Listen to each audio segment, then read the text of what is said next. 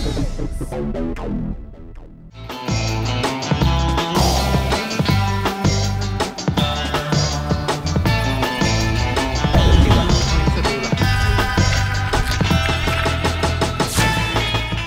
dengan daunnya. Sekarang aku dan Mbak Dita mau cari bunga tembakau.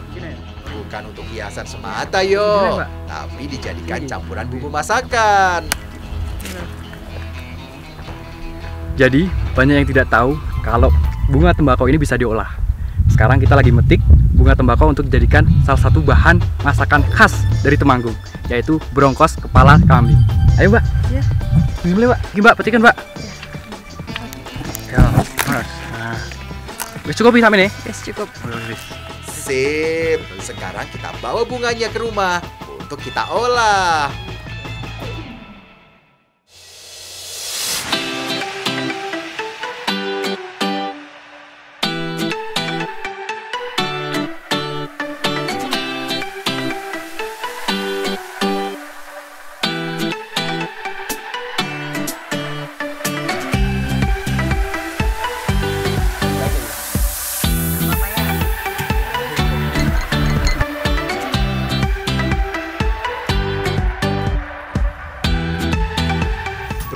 Brongkos termasuk masakan tradisional yang cukup populer di Jawa Tengah dan Bali. Makanan ini hampir sama dengan rawon, tapi di dalam brongkos ada tambahan santan kentalnya, teman. Kali ini kita lagi mau nyiapin masakan ini brongkos. Brongkos ini merupakan salah satu kuliner khas Jawa. Kalau di Temanggung harus pakai kepala kambing.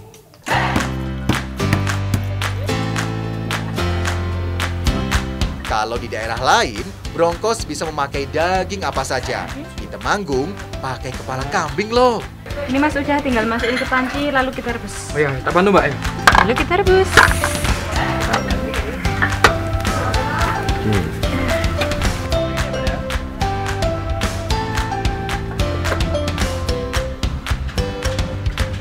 Setelah dipotong, kepala kambing harus direbus sampai matang, teman. Soalnya beberapa daging yang bisa dimakan masih tertutup tulang toh. Akan lebih susah matang kalau langsung dimasak dengan bumbunya. Sambil menunggu kepala kambingnya matang, semua bumbunya harus disiapkan ya teman. Jangan lupa, bunga tembakau yang tadi petik juga ikut dihaluskan sekarang.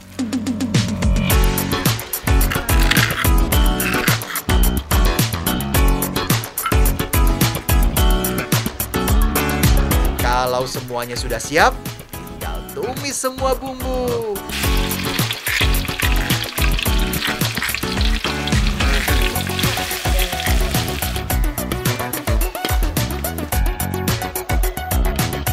Kemudian masukkan santan dan kepala kambing. Oh iya, soal banyak dan tidaknya kluwek tergantung selera yo. Kalau ngomongin brongkos, ada yang menyebut kalau awalnya dari bahasa Prancis atau Inggris brown horse yang artinya daging coklat. Nah, karena lidah Jawa, masyarakat lebih nyaman menyebutnya brongkos.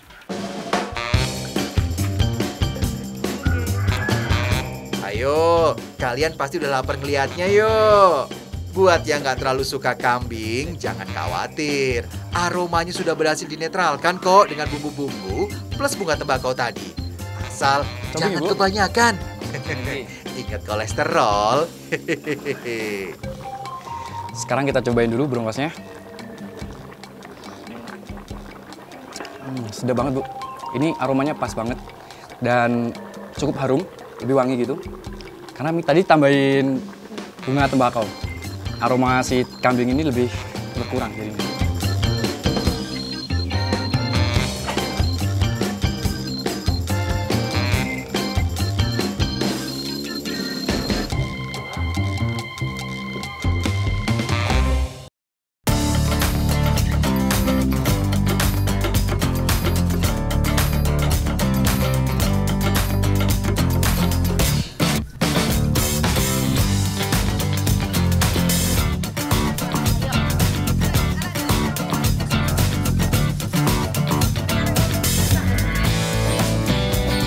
Jadi di tradisi Tedak City itu ada jajanan tradisional yang disajikan. Dua di antaranya itu ada sengkulun dan klemet. Sengkulun atau sering juga disebut sengkolon berbahan tepung ketan. Kalau klemet menggunakan Iya, singkong dan gula merah sebagai bahan utamanya. Mas rebusin air dulu buat bikin sengkulun. Oh nggih, tak rebus nih. Eh, amin.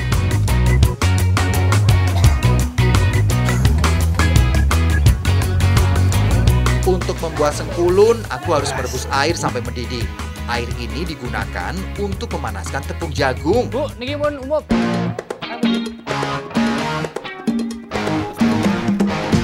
Pane nggih. Saat disiram dengan air panas, tepung jagung akan mengembang dan matang dalam sekejap yo. Bentuknya mirip dengan nasi jagung. Bedanya teksturnya lebih lembut. Setelah dingin, adonan tepung jagung dicampur tepung ketan. Ada juga parutan kelapa, garam, dan gula pasir. Semua bahan ini harus tercampur rata yo, biar manis, asin, dan gurihnya juga merata. Ya kan? Biasanya, sengkulun dibuat dengan dua varian warna yang berbeda yo teman. Tinggal dikukus sampai matang. Kurang lebih antara Bu. 1 hingga 2 jam.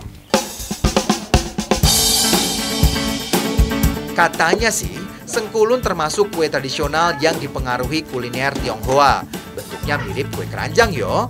Tapi tentu saja sudah dimodifikasi dengan bahan-bahan yang ada di sini.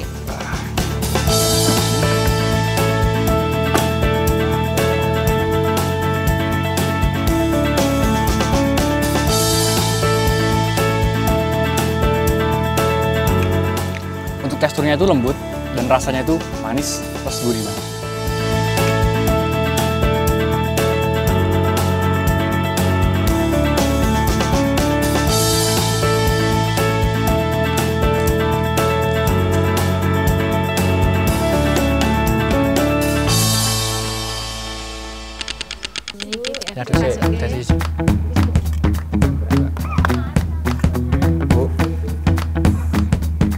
Cara membuat klemet masih sederhana teman. Hanya mencampur parutan singkong dan kelapa.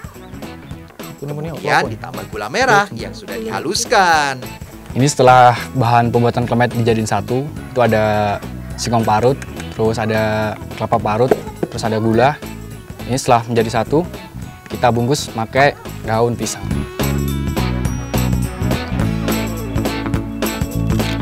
Sama halnya dengan makanan tradisional Nusantara lainnya, bungkus dengan daun pisang dulu, baru kemudian dikukus hingga matang. Lemet hanya salah satu olahan dari singkong yo. Masih banyak kue tradisional yang terbuat dari singkong.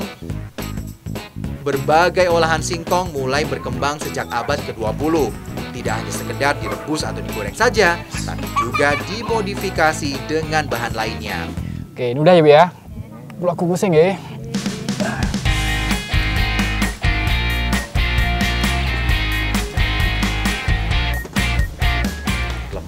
Tidak hanya jadi makanan yang disajikan dalam upacara adat atau selamatan di Jawa, tapi juga dijual di pasar tradisional atau toko kue.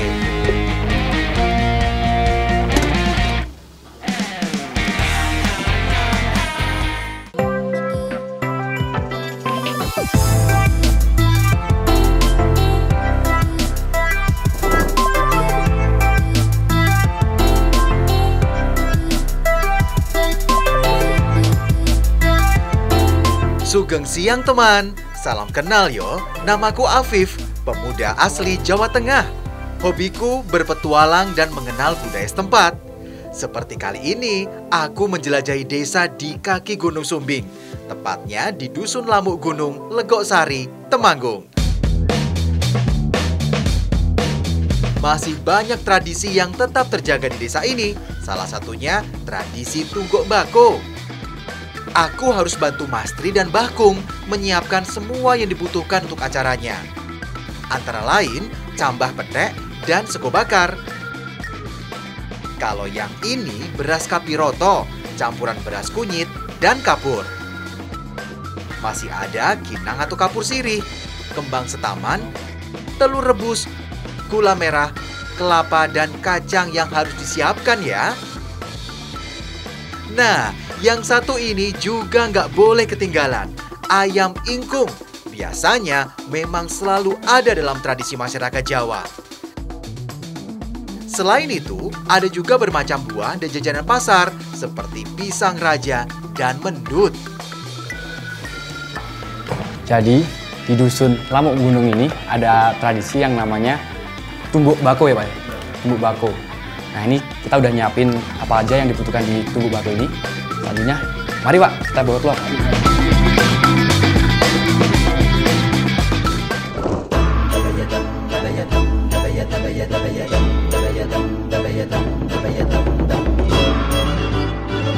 Tradisi tungguk bako dilakukan oleh petani tembakau di Jawa Tengah, terutama di kaki Gunung Sindoro atau Gunung Sumbing.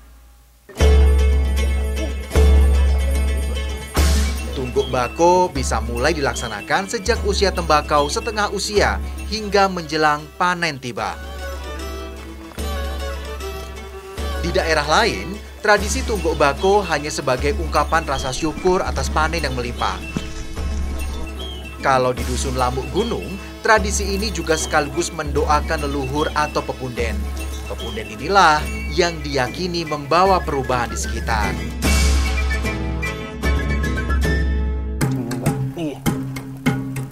Menurut cerita yang berkembang di masyarakat, leluhur atau pepunden yang dimaksud adalah Ki Ageng Makukuhan. Beliau seorang ulama yang membawa bibit tembakau ke lereng Gunung Sumbing ini.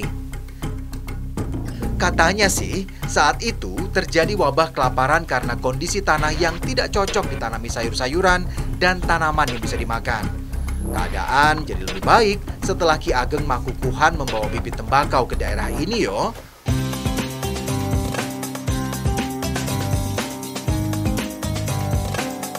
Dari cerita yang ku dapat, sebutan tembakau berasal dari kata tomboku, artinya obatku. Maksudnya obat untuk kondisi masyarakat pada saat itu. Ternyata yang tumbuh di sini bisa menghasilkan serintil, tembakau terbaik di dunia. Tujuan dilaksanakan tungguk bako ini yaitu untuk ngalap berkah, yang mana agar keluar serintil.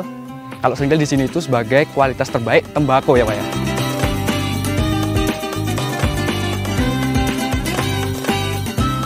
Serintil singkatan dari Srine Ngintil, bisa diartikan Srinya ikut. Sri yang dimaksud adalah Dewi Sri, simbol Dewi kesuburan.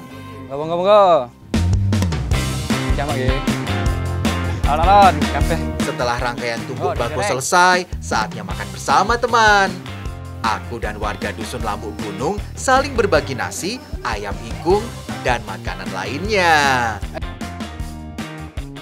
Begini ini yang paling seneng kalau mengikuti tradisi masyarakat di Jawa.